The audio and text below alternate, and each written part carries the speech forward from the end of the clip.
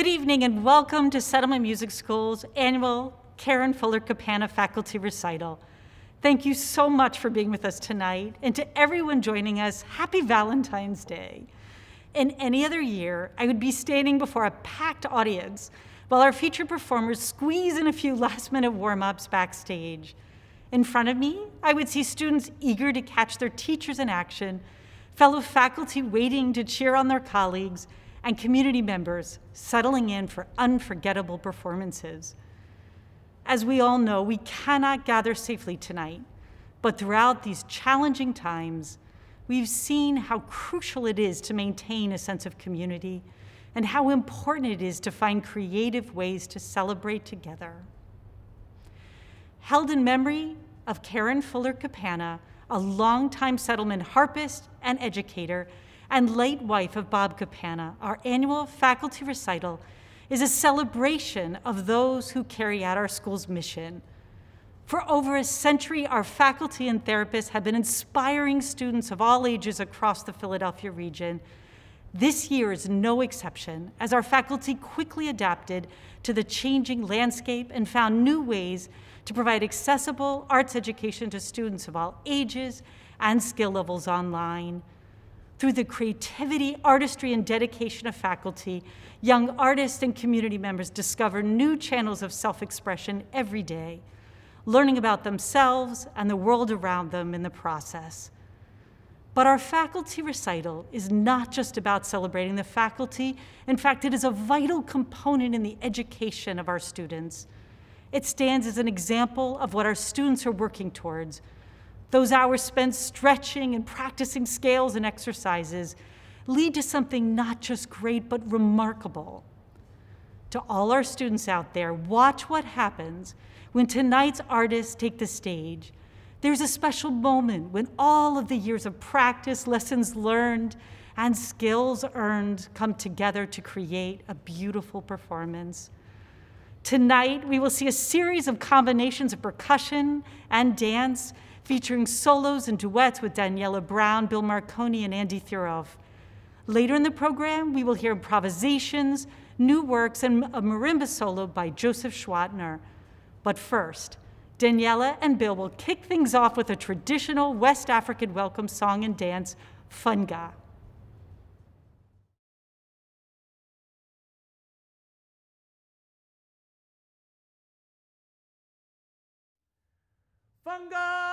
Alafia, ashe, ashe. Alafia, ashe, ashe.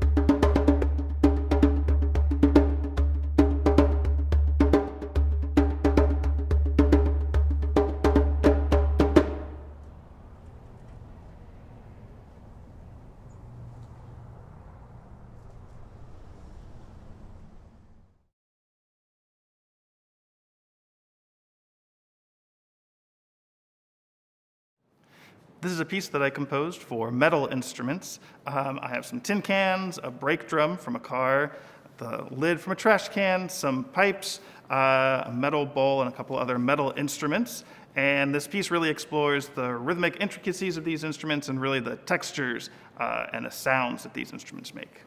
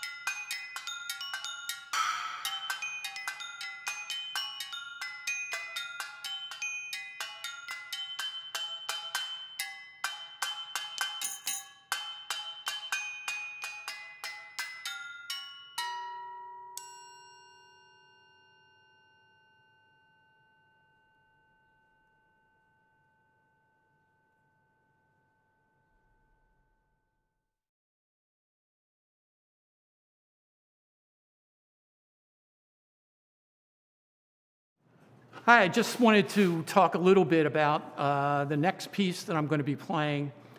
It is strictly an improvisation, so everything that I'll be doing is made up on the spot. I'll be using different sounds from the djembe, and you'll see my hands move around the djembe to make these to make these different sounds. But it is strictly strictly an improvisation made up on the spot, and I hope you enjoy it.